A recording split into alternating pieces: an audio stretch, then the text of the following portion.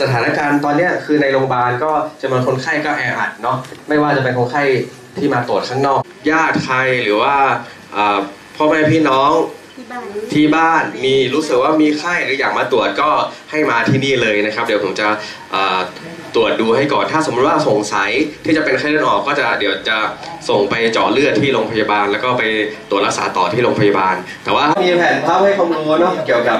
การดูแลรักษาตนเองแล้วก็การระบาดของไข้เลือดออกต่างๆนะครับ คนปีแต่มันหมายผลมันรีวิวออกมาจากซ่องมันอะใช่เปลี่ยนรีวิวออกมาจากซ่องมันอะเนี่ยมันแย่มันเกิดดีละลายแล้วก็ออกมามันเกิดมียาส่วนหนึ่งติดติดตีซองตั้งๆนั้นมันยีอะยา กำนันถ้าเขาเติมนั่นคือเต็มพวกเนี่ยยุ่งมันก็ไม่มีแต่ว่าแขนนี้ไม่เจอจุดเลือดออกดังนั้นทางใครมันจบก็คือสารคือคุมกันแต่ร้อยห้าสิบวันนี้เหลือคนข้อครัวเมื่อตั้งใจอะไหนเนาะ